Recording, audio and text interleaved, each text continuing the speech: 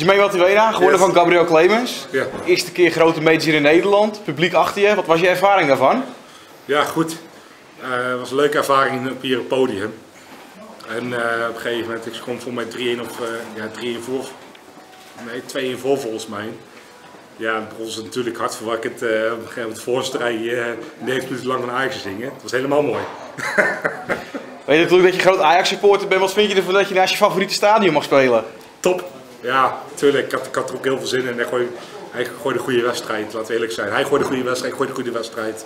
Het heeft eigenlijk op die twee pijlen die, hij- die hij liet liggen, dubbel, eh, op een dubbel. En ik gooide één pijl dubbel acht uit. Ja, daar zat eigenlijk het verschil in. Laatste leg die finish. Wat een ontlading hè. Mooi hè. Eigen land. Ja, zeker. Hij mist 104 op tops. En ik gooi 111 uit. Tuurlijk, er komt ontlading, eh, dat is toch mooi als je de, de ontlading eruit kan eh, schuiven. Goed, thuispubliek. Morgen de Barney Army. Ja, tegen je wil ik niet zeggen, want het is natuurlijk in eigen land. Maar hoe ga je daar tegen wapenen? Ja, we zullen morgen zien. Ik bedoel, ik ga morgen gewoon weer hetzelfde doen als vandaag met ingooien en, eh, en, en, en ingooiruimte. En we zullen zien wat eh, morgen het publiek brengt. Jermaine, morgen heel veel succes. Bedankt. Yes, jullie ook bedankt.